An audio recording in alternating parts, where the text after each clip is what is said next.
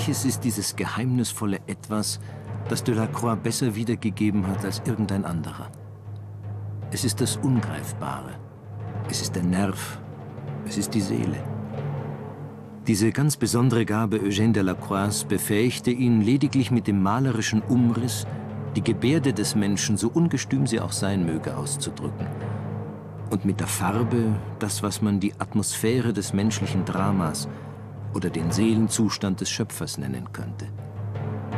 Eine unermessliche Leidenschaft, gesteigert durch einen ungeheuren Willen.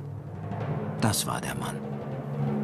Charles Baudelaire schreibt diese Zeilen kurz nach Delacroix' Tod. Es geht um den Nachruhm eines Künstlers, der zu Lebzeiten höchst umstritten war, dessen Werk Debatten auslöste, der polarisierte wie kaum ein anderer.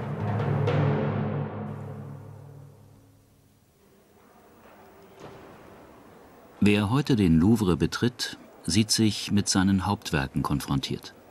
Gleich sein erstes großes Bild, die Dante-Barke, im Pariser Salon von 1822 reißt die Kritiker zu Begeisterungsstürmen hin. Delacroix ist nicht älter als 24 Jahre und eigentlich noch Student an der Akademie. Dargestellt ist die Überquerung des Sees der Verdammnis durch Vergil und Dante. Wie so oft leiht sich Delacroix sein Thema aus der Literatur. Wie in Dantes Inferno vorgegeben, versuchen die Verzweifelten von allen Seiten das Boot der Dichter zu entern, um so den morastigen Fluten der ewigen Verdammnis zu entkommen.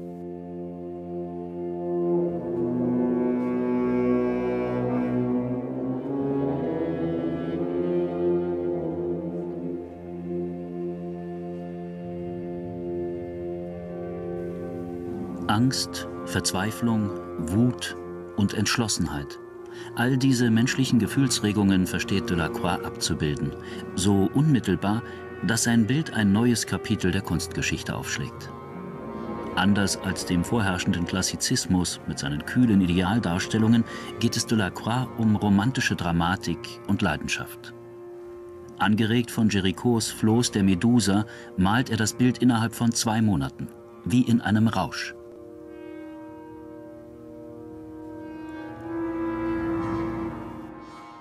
Delacroix' malerischer Weg ist steinig. Seine Lehrer ermutigen ihn kaum. In den Aktklassen der Kunstakademie belegt er mittlere Plätze. Auf dem Lehrplan stehen die klassischen Posen der antiken Abgüsse. Jahre später wird Delacroix in seinem Journal über das eintönige Zeichnen notieren. Die antiken Marmorskulpturen sind die Wahrheit selbst, aber man muss in ihnen lesen können. Und unsere armen Modernen haben nichts als Hieroglyphen in ihnen gesehen. Tatsächlich sind die Skulpturen für den jungen Maler zunächst nichts als tote Materie. Trotzdem, Delacroix lernt hier das sichere Sehen und Zeichnen, die Grundlage für seinen späteren künstlerischen Erfolg.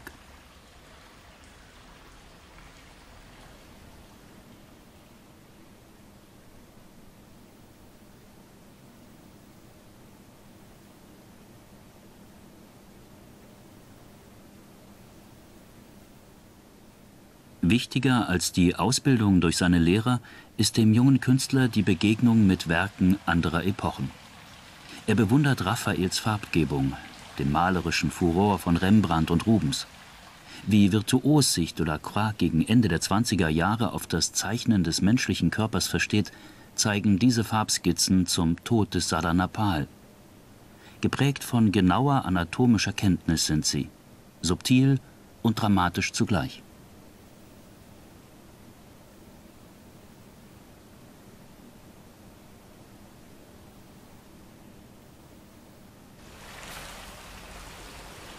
Noch an der Akademie hatte Delacroix im Atelier seines Lehrers Guérin Theodore Géricault getroffen. Der berühmte Maler erkennt in dem Jüngeren das enorme Talent. Von ihm bekommt Delacroix, was er auf der Akademie so schmerzlich entbehren muss: Ermunterung und künstlerischen Rat. Und es ist letztlich Géricault, der Delacroix bestärkt, den einmal eingeschlagenen Pfad weg von der akademisch erstarrten Pose hin zur bewegten, emotionsgeladenen Malerei weiterzugehen. Die Ölskizze zum Tod des Sardanapal zeigt, was Delacroix umtreibt. Der geschwungene Pinselstrich, die bewegte Szenerie, die starke, vitale Thematik, all das entspricht den Maximen einer neuen Schule, der romantischen Malerei, als dessen Hauptvertreter die Kritik den jungen Delacroix seit längerem ausgemacht hat.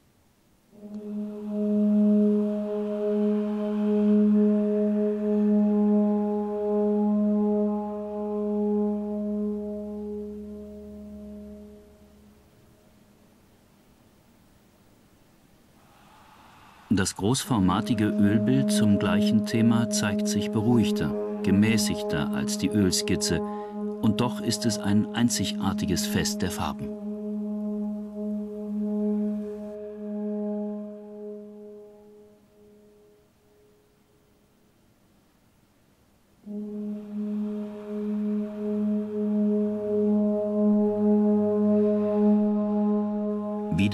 Delacroix von der Literatur anregen lassen.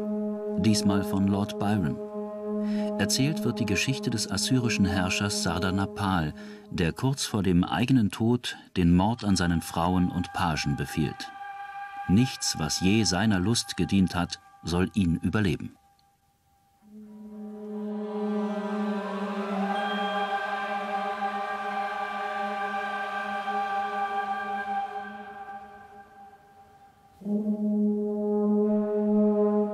Delacroix nutzt seine malerischen Mittel bis zum Äußersten.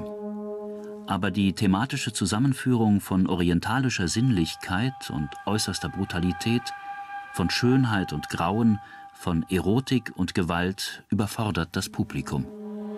Das Bild fällt im Pariser Salon 1827 durch.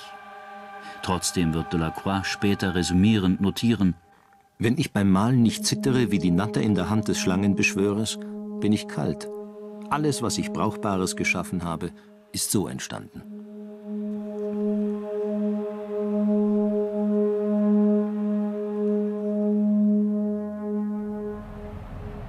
Das Paris, in das Delacroix hineinwächst, ist eines fortwährender Veränderungen. Als er 1798 zur Welt kommt, sind die Wirren der großen Revolution gerade ein paar Jahre vorbei.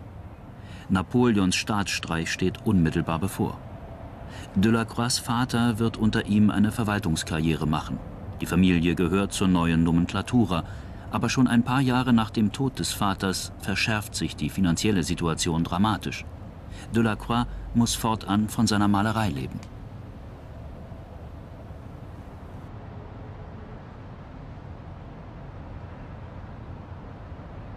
Auch die politischen Zeitläufte bleiben unruhig. Als die glorreichen Zeiten Napoleons in den Befreiungskriegen untergehen, reißen die Bourbonen 1814 erneut die Macht an sich. Aber die Monarchie steht unter keinem guten Stern. Politische Reaktion und Restauration beherrschen die Jahre. Die Ideale der Revolution sind erneut in Gefahr. Wie ein Spiegel der eigenen Misere erscheint den Intellektuellen da der gerade entbrannte Freiheitskampf der Griechen gegen die Türken. Schon Mitte der 20er Jahre stellt Delacroix dieses Bild im Pariser Salon zur Diskussion. Das Massaker von Chios.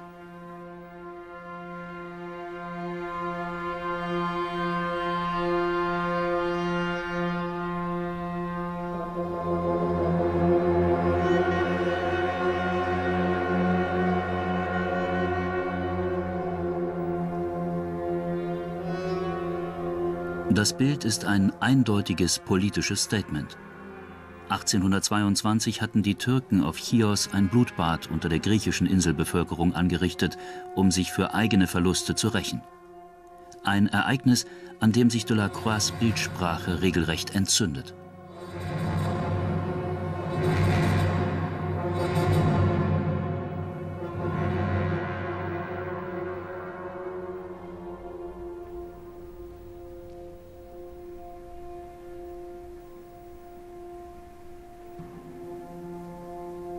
Die Figuren sind von drastischem Realismus. Erschöpfung und Verzweiflung der Opfer scheinen greifbar. Der Tod hält Einzug.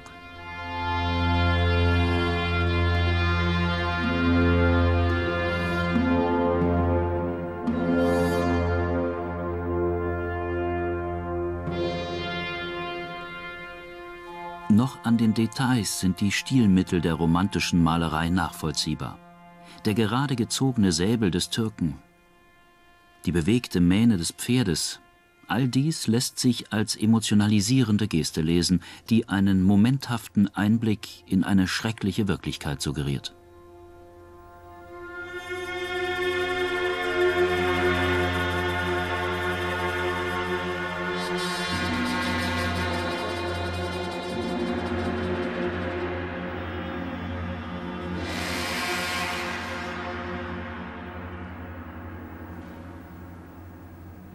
Die romantische Bewegung versteht sich durchaus als aktuelle Kunst.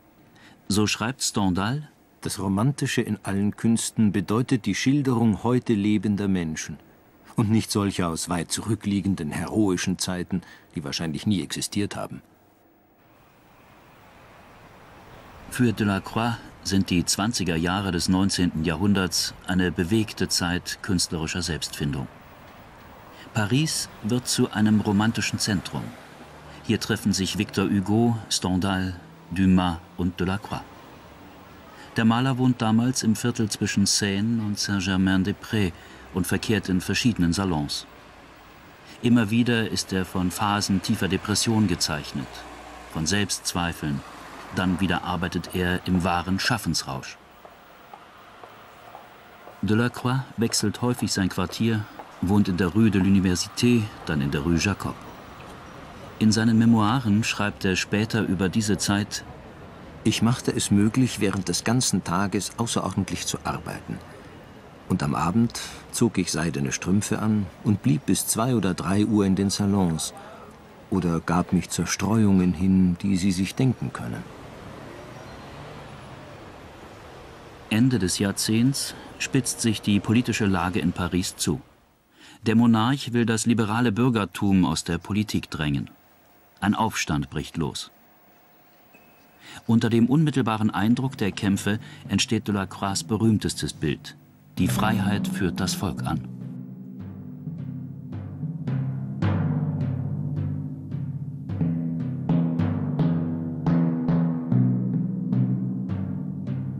Es ist ein Bild, in dem Delacroix schonungslosen Realismus mit allegorischer Überhöhung verbindet. Über den Kämpfenden erscheint die Freiheit in Gestalt einer jungen Frau, die die Trikolore schwenkt.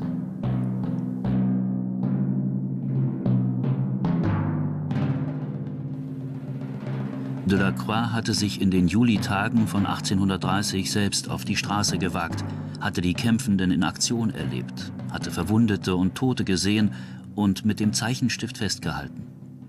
Und er überträgt diese Eindrücke lebensecht in sein Ölgemälde. Dabei hat sich der Maler selbst in der Menge dargestellt, mit schwarzem Zylinder als Zeichen des Bürgertums. Es besteht kein Zweifel an seiner Sympathie mit den Aufständischen.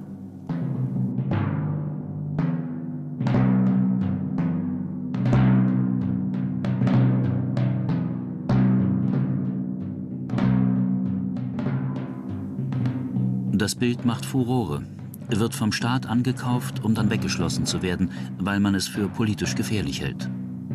Viele Zeitgenossen sind entsetzt über die drastische Darstellung des Hässlichen, die Artikulation der Straße und des Volkes. Heinrich Heine dagegen schreibt begeistert, auf keinem von allen Gemälden des Salons ist so sehr die Farbe eingeschlagen wie auf Delacroix' Juli-Revolution. Indessen eben diese Abwesenheit von Firnis und Schimmer, dabei der Pulverdampf und Staub, der die Figuren wie graues Spinnweb bedeckt, das sonnengetrocknete Kolorit, das gleichsam nach einem Wassertropfen lechzt. Dies alles gibt dem Bilde eine Wahrheit, eine Wesenheit, eine Ursprünglichkeit. Und man ahnt darin die wirkliche Physiognomie der Julitage.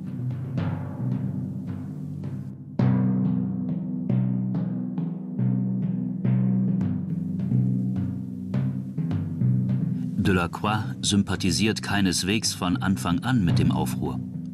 Als Paris damals brennt, ist er zunächst hin und her gerissen zwischen Entsetzen, Angst und Anteilnahme für die Gegner der Bourbonenherrschaft.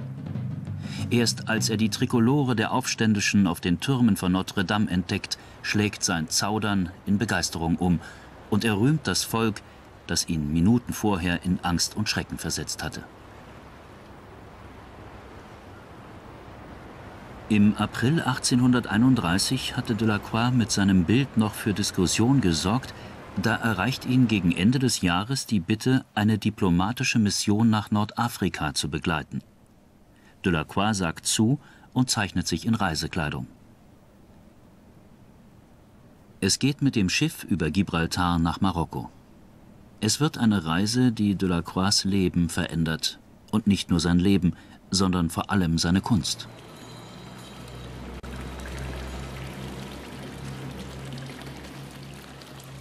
Marokko. Das Licht, die Farben. Von Anfang an ist Delacroix von dieser Fremdartigkeit bezaubert.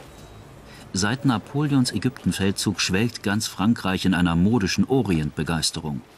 Es kursieren Klischees. Der Orient als Sehnsuchtsort, Vorstellungen aus zweiter Hand. Für Delacroix wird dies alles auf einmal greifbare Wirklichkeit. Eine Wirklichkeit, die ihn anregt und überwältigt. Freilich den Islam, die religiösen Riten versteht er nicht. Für ihn bleibt die Farbenpracht, die Begeisterung über die Ursprünglichkeit des Landes. Hier in Marokko glaubt er, die Antike wiederentdeckt zu haben. Rom ist nicht mehr in Rom, schreibt er begeistert. Die Gruppe reist von Tanger in die Königsstadt Meknes. Delacroix skizziert und aquarelliert beinahe ununterbrochen. So entstehen die Carnets, Skizzenbücher, die ihn als meisterhaften Zeichner ausweisen und die zum Schönsten gehören, was Delacroix hinterlassen hat.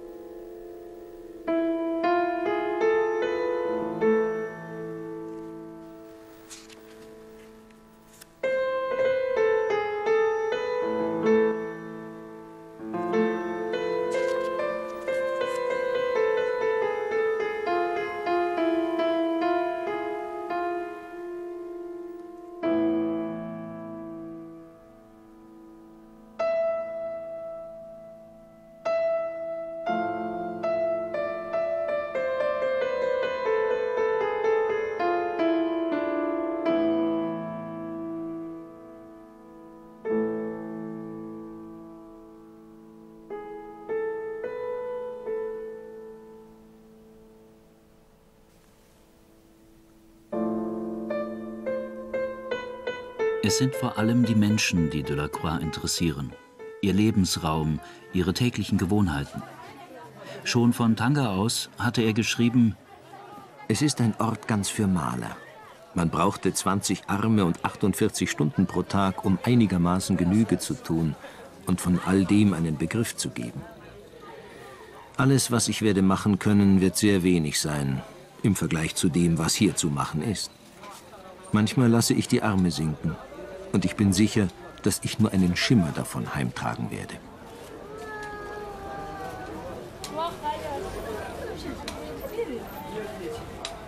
In den Monaten in Nordafrika bleibt Delacroix ein unentwegt Staunender.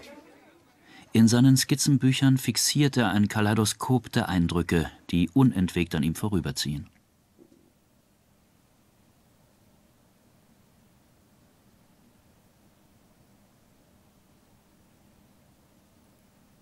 Am 29. Februar 1832 schreibt Delacroix an Frédéric Villon, Stelle dir vor, mein Freund, was es heißt, konsulare Gestalten, Katos, Brutusse in der Sonne liegen, auf den Straßen sich ergehen zu sehen. Gestalten, denen nicht einmal die verachtungsvolle Miene fehlt, welche den Herrn der Welt eigen gewesen sein muss.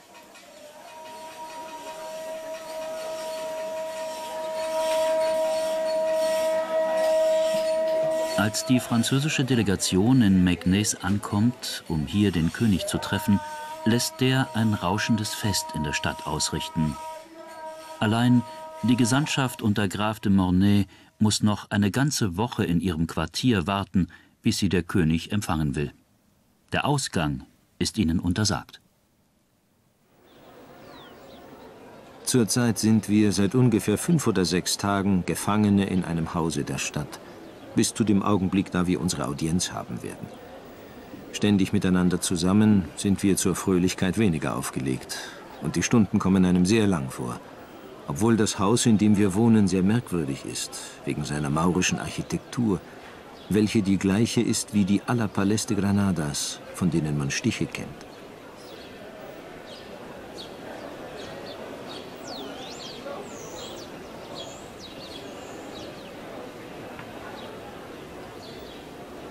Delacroix nutzt die Zeit, um Interieurs zu zeichnen und Briefe an Freunde in Paris zu schreiben. Trotz aller Begeisterung über Marokko ist ihm die Verbindung in die Heimat wichtig, auch wenn er, wie er schreibt, froh ist, hier in Marokko dem Pariser Schlachtfeld des Ehrgeizes und der Intrigen entkommen zu sein.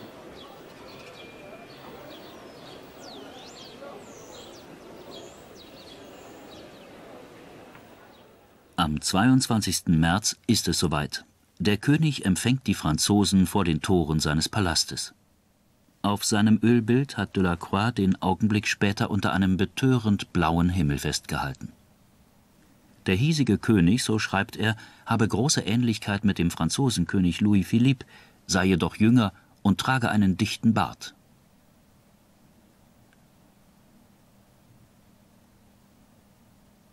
Die königliche Garde in weißen Gewändern und schließlich die Würdenträger hat der Maler mit genauer Physiognomie dargestellt.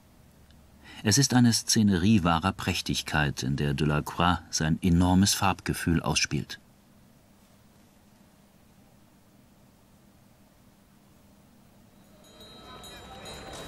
Meknes mit seinen riesigen Festungsanlagen ist die Stadt der Tore, deren reiche Verzierungen der Maler immer wieder akribisch studiert und festgehalten hat.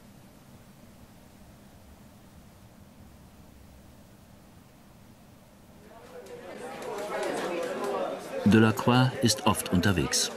Während der Rest der französischen Gesandtschaft das Haus nur selten verlässt, streift Delacroix durch die Souks, um Stadt und Menschen zu sehen und zu zeichnen. Stets wird er von Soldaten des Königs begleitet, denn er gilt als Ungläubiger, muss beschützt werden. Sein Skizzenbuch verrät dabei einen schnellen, sicheren Strich, der kaum Korrekturen braucht. Offenbar in Zeitdruck durch die wechselnden Eindrücke hält er momenthafte Ausschnitte fest, um sie abends mit Aquarellfarben zu lavieren.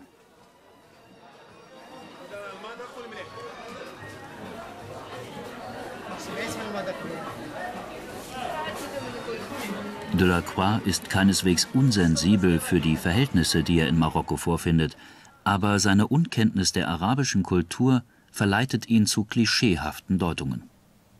So wird ihm die fremde, exotische Kultur ganz im Sinne der Romantik zum Synonym für eine ebenso rätselhafte wie unverbildete Natürlichkeit. Die Farbenpracht, die schönen jungen Frauen, die er zeichnet, das vibrierende Ambiente eines Bazars All dies erlebt Delacroix unhinterfragt als glänzende, sinnliche Welt, deren Kern ihm verschlossen bleibt, die er letztlich mit europäisch geprägten Vorstellungen und Sehnsüchten auffüllt.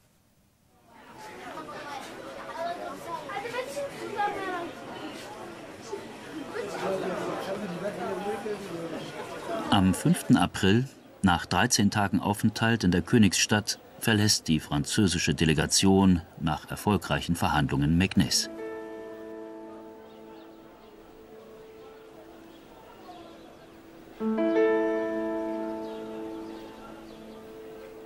Die zauberhaften Eindrücke der Reise aber wirken lange nach. 1834 entsteht dieses Bild. Die Frauen von Algier in ihrem Gemach.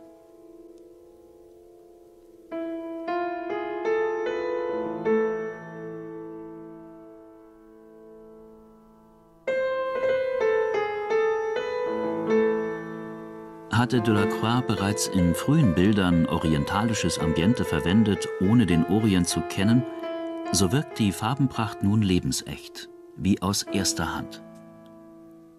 Das satte, wunderbar abgestufte Kolorit, das doch nie schwer wirkt, die Leichtigkeit der Stoffe, die Ausarbeitung bis ins kleinste Detail, das sind Qualitäten eines Meisterwerks.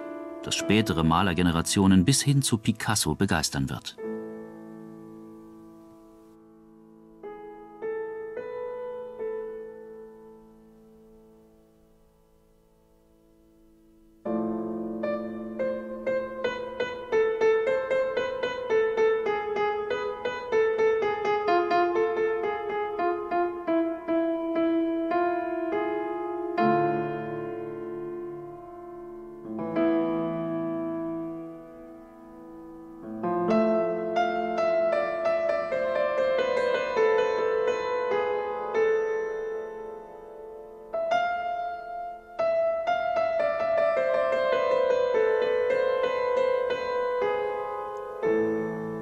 Tatsächlich hatte Delacroix auf der Rückreise in Algier die Möglichkeit bekommen, einen Harem zu betreten, dessen eigentümlich melancholische Ruhe er atmosphärisch verdichtet.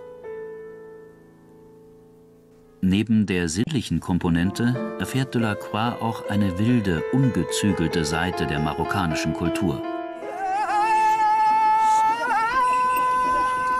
Die Reiterwettkämpfe der Fantasia.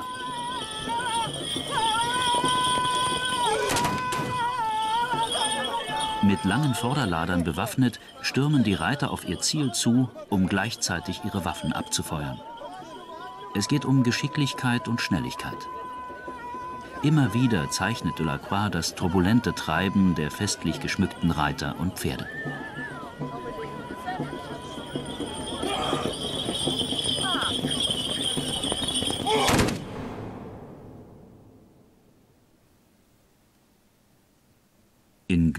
Farben, mit dynamischen Pinselstrichen hält der Maler das Geschehen auf seinem Ölgemälde fest.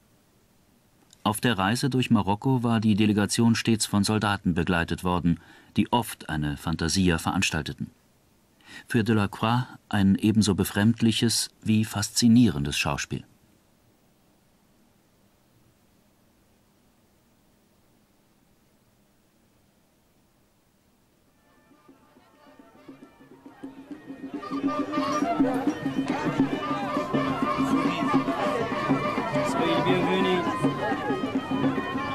Die Fülle der Zeichnungen und Eintragungen in seinem Skizzenbuch zeigt, wie stark den Maler das Thema gefesselt haben muss.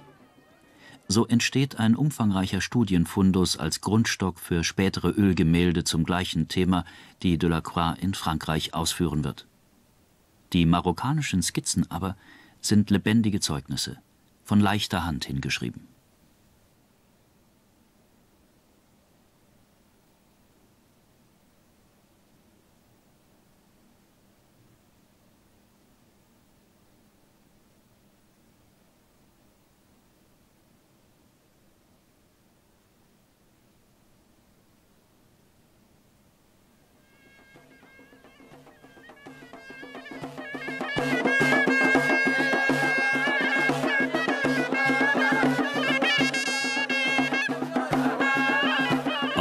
Musiker, die auf der Fantasia Mensch und Tier in tranceähnliche Zustände versetzen, hat Delacroix mit präzisen Strichen eindringlich umrissen.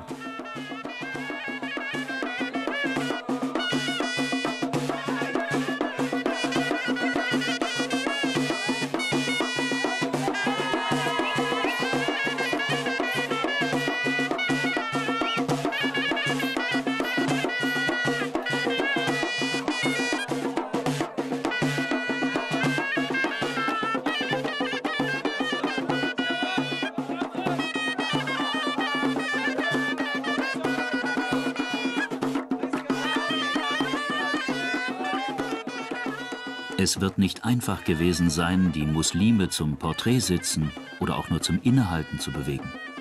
Delacroix aber gelingt es ein ums andere Mal.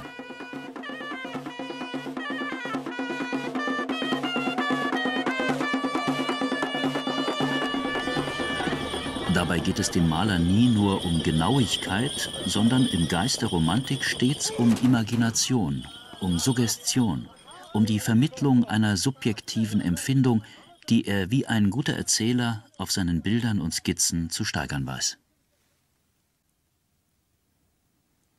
Das südliche Licht, von dem Delacroix schreibt, dass es noch dem unscheinbarsten Ding eindringlich Leben verleihe, Es verstärkt noch einmal die Dominanz der Farbe, der sich Delacroix von Anfang an verpflichtet gefühlt hatte.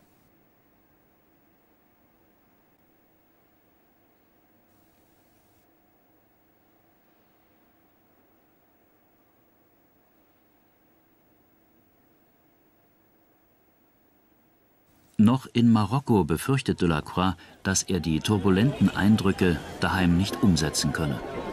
Ich bin sogar sicher, dass mir die recht ansehnliche Menge von Aufschlüssen, die ich von hier mitnehmen werde, nur mäßig wird dienlich sein. Fern vom Land, wo ich sie gewinne, werden sie wie Bäume sein, die man aus ihrem heimatlichen Boden gerissen hat. Er täuscht sich.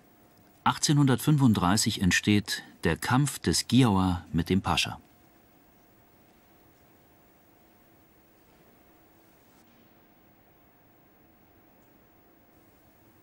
Einen solchen Kampf, bei dem sich selbst die Pferde verkeilen, hat Delacroix in Marokko hautnah miterlebt.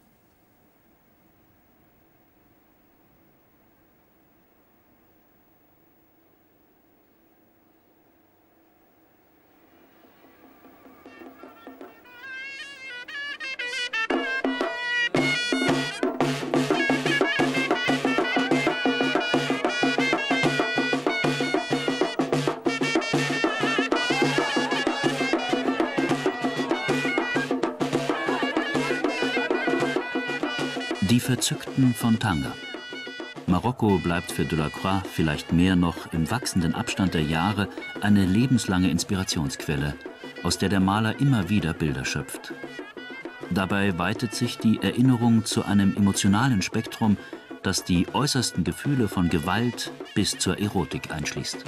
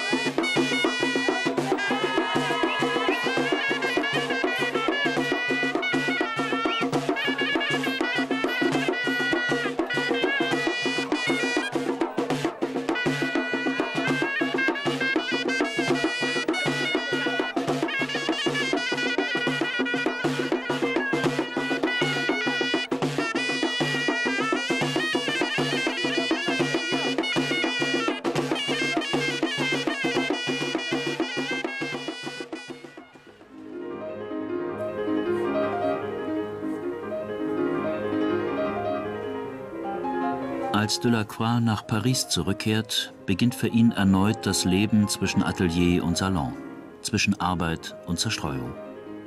Ein Leben, dem der Künstler immer wieder zweifelnd gegenübersteht und von dem er doch nicht lassen will. Paris ist damals die Stadt der Salons, der geistreichen Plaudereien. Und Delacroix, schreibt Baudelaire später, war ein Mann des Gesprächs, funkelnd, aber auch reizbar aufbrausend, wenn man ihn herausforderte. Aber die Salons bringen auch Freundschaften. Im Herbst 1834 lernt Delacroix die Dichterin Georges Sand kennen. Zwei Jahre später den Komponisten Chopin.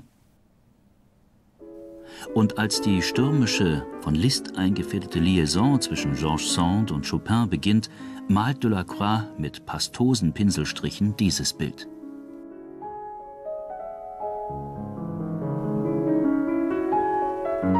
Das heute in zwei Teile geschnittene Doppelporträt zeigt Georges Sand in gedeckten Farben im Hintergrund, andächtig Chopins Musik lauschend.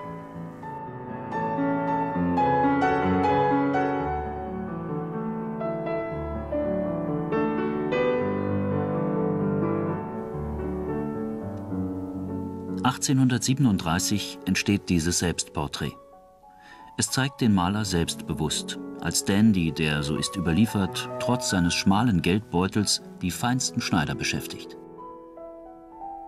Delacroix hält sich nun oft in Champs-Prosay auf, einem Landhaus an der Seine, das der Maler zunächst mietet und später kauft.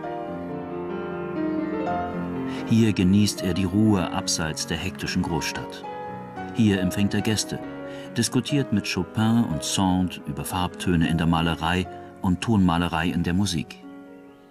Aber auch hier hat er ein Atelier, in dem er rastlos arbeitet.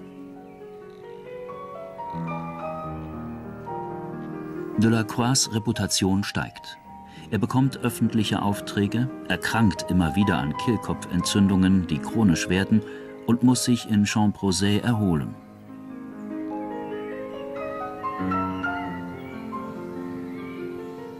Unter dem Journaleintrag vom 24. April 1854 ist zu lesen Ich habe das Bild Die Löwenjagd hervorgeholt, das ich gestern in verdrießlicher Stimmung übel zugerichtet hatte, obwohl es vom Vortage her auf gutem Wege war. Ich geriet in eine wahre Schöpferwut. Ich beklage die Leute, die ruhig und kühl arbeiten und sich ihrer Gelassenheit rühmen. Tatsächlich ist Delacroix' Löwenjagd ein Meisterwerk an malerischer Dynamik, dramatischer Bewegung und kompositorischem Geschick. Erneut beweist der Maler hier sein Gespür für Farben, spielt mit leuchtenden Ockertönen, weißen Akzenten und dunklem Kaminrot.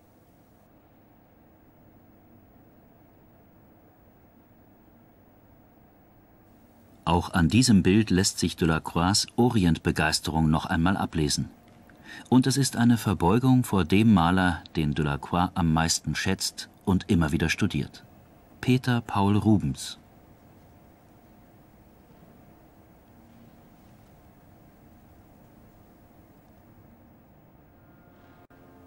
Die Ölskizze zeigt, mit wie viel Schwung Delacroix die Komposition und Farbgebung angelegt hatte.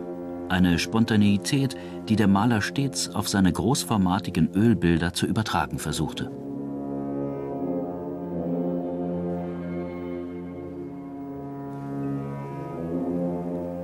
Der Pinselstrich wird zum Energieträger. Ohne klare Konturen, mit wilder Eleganz, ganz aus der Farbe heraus, scheint auch diese Tigerjagd gearbeitet.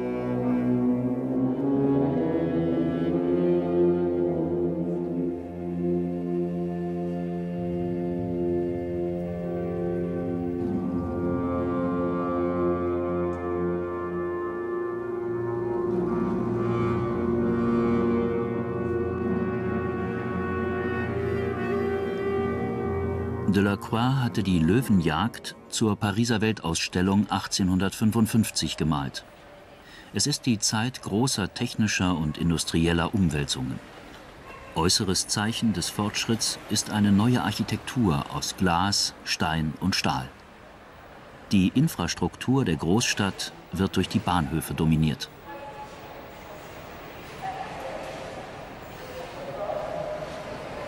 Delacroix steht der neuen Zeit durchaus aufgeschlossen gegenüber. Er fährt nun mit dem Zug nach Champrosay. Seine Kunst aber verbleibt mehr und mehr in einer rückwärtsgewandten Traumwelt. Das einstige Diktum romantische Kunst stelle sich der Gegenwart bleibt fortan uneingelöst.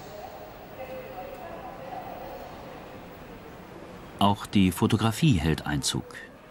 Sie zeigt den Maler würdevoll, in teurem Stoff. Delacroix plagen zunehmend gesundheitliche Probleme. Aber er hat auch Grund zur Freude. Sein neues Atelierhaus im Innenhof am Place Fürstenberg entsteht nach eigenen Plänen.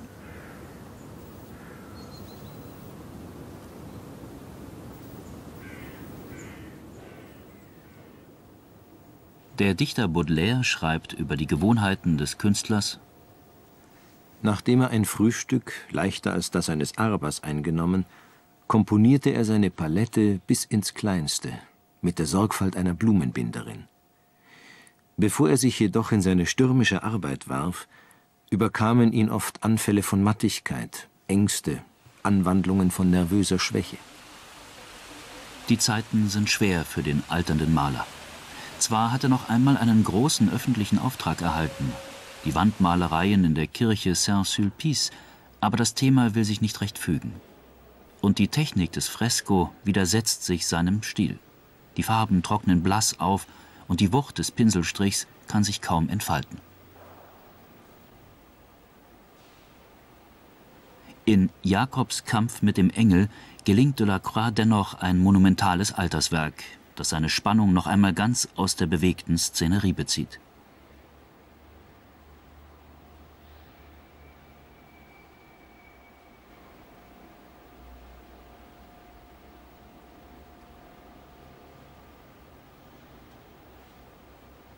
Als das Bild fertig ist, bleibt Delacroix dennoch allein. Wie so oft wird ihm die öffentliche Anerkennung versagt. Weder der Minister noch der Präfekt, niemand vom Hof, kein Sachverständiger haben meiner Einladung Folge geleistet. Dagegen waren viele Künstler anwesend. Im Übrigen war Paris ein wenig ausgestorben. Eigentlich kann ich zufrieden sein. Man hat mir von überall her versichert, ich sei noch nicht tot. Im folgenden Jahr verschlechtert sich Delacroix Gesundheitszustand zusehends. Am 13. August 1863 stirbt Delacroix im Beisein seiner vertrauten Wirtschafterin Jenny Le Guillou. Sein Tod versetzt die Kunstwelt in Aufregung. Die Versteigerung seines Nachlasses wird ein großer Erfolg. Dabei hatte sich Delacroix enttäuscht von seinem Publikum abgewendet. Noch in seinem letzten Tagebucheintrag beklagt er sich, nicht alle Augen sind fähig, die Feinheiten der Malerei zu genießen. Viele Menschen haben stumpfe oder träge Augen. Sie sehen wohl, was dargestellt ist. Aber wie es dargestellt ist, das wahrhaft Bezaubernde, sehen sie nicht. Ein Fest für das Auge zu sein, das ist das höchste Verdienst eines Bildes.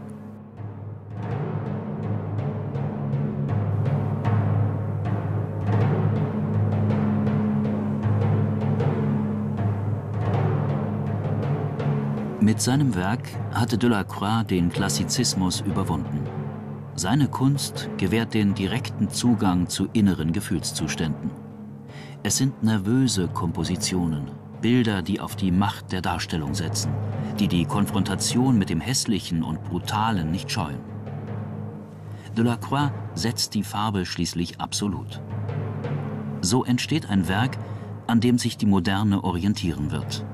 Eine Kunst, die sich zunehmend von der Wirklichkeit emanzipiert hatte, um ihren Eigenwert zu finden. Träumerisch, subjektiv und voller Emotion.